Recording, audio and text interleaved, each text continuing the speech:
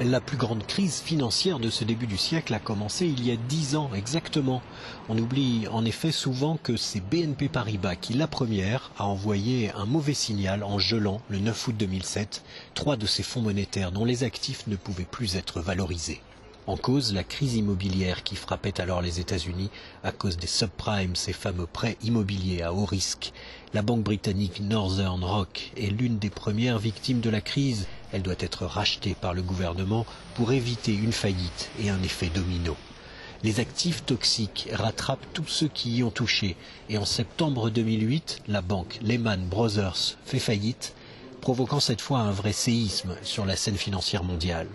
Barack Obama, alors candidat démocrate à l'élection présidentielle américaine, évoquera la crise financière la plus grave depuis la Grande Dépression de 1929.